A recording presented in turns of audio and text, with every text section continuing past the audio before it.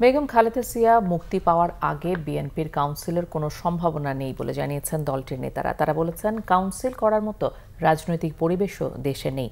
বিপুল সংখ্যক নির্বাহী কমিটির সদস্য সহ নেতাকর্মীরা কারাগারে, অনেকে আত্মগোপনে। এ অবস্থায় কাউন্সিল সম্ভব নয় বলে জানান নেতারা। পক্ষ থেকে বিএনপি সবশেষ কাউন্সিল হয়েছিল দু হাজার ষোলো সালের ১৯ মার্চ। বিএনপির গঠনতন্ত্র অনুযায়ী তিন বছর পর পর কাউন্সিল করতে হবে।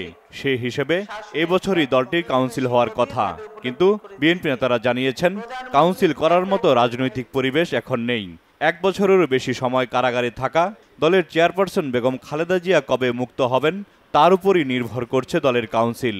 ম্যাডামের মুক্তির উপর বহু কিছু নির্ভর করতেছে। কাউন্সিল ডিউ হয়েছে আমাদের। সাপোজ এখন যদি, কালকে যদি আমি কাউন্সিল ডাকি, হাজার হাজার গায়েবী মামলায় আমার সব জেলার প্রেসিডেন্ট সেক্রেটারিরা আমাদের কেন্দ্রীয় নির্বাহী কমিটির অনেক কর্মকর্তা সদস্য জেলখানায় আছে। কিংবা তারা গ্রেপ্তার এড়িয়ে চলছে। তারা তো কাউন্সিলে যোগদান করতে পারবে না। তাহলে আমাদের কাউন্সিলে তো কাউন্সিলরের উপস্থিতি সংকট হবে। যদি কাউন্সিল মানে যদি প্রতিনিধিত্বশীল একটা পরিষদ হয় তাহলে সেরকম একটা প্রতিনিধিত্বশীল পরিষদ বসে সিদ্ধান্ত নেওয়ার মতো পরিবেশ এখন নাই। তবে কাউন্সিল না হলেও তৃণমূল অঙ্গ সংগঠনগুলো পুনর্গঠনের কাজ চলছে বলে জানান নেতারা। আমাদের ভারপ্রাপ্ত চেয়ারম্যান প্রায় প্রতিদিনই বিভিন্ন জেলা বা বিভিন্ন অঙ্গ দলের সঙ্গে কথা বলছেন এবং তাদেরকে প্রয়োজনীয় পরামর্শ দিচ্ছেন।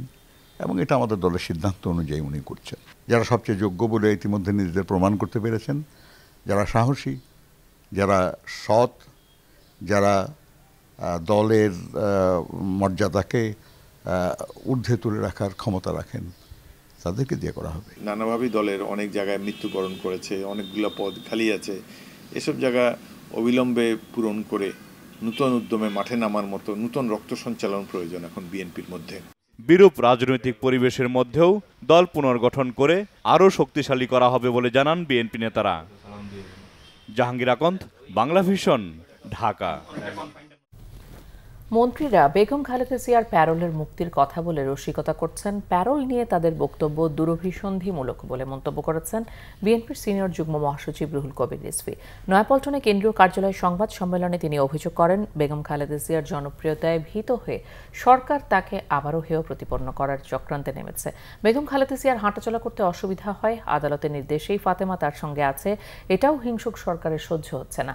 ফাতেমার বাবাকে প্রাণনাশের হুমকি দিয়ে তাকে বেতন দেওয়া হচ্ছে না বলে দু একটি গণমাধ্যমকে দিয়ে মিথ্যা রিপোর্ট করিয়েছে। অভিযোগ করে রিজভি বলেন, অথচ ফাতেমার মা বলছেন তারা নিয়মিত টাকা পান। ফাতেমার বাবাকে প্রাপ্য টাকা ছাড়াও অগ্রিম টাকা দেওয়া হয়েছে। প্যারোল নিয়ে সরকারের উদ্দেশ্য সফল হয়নি বলেই এখন বেগম খালেদা জিয়াকে নিয়ে অপপ্রচার চালানো হচ্ছে বলে অভিযোগ করেন রুহুল কবির রিজভি।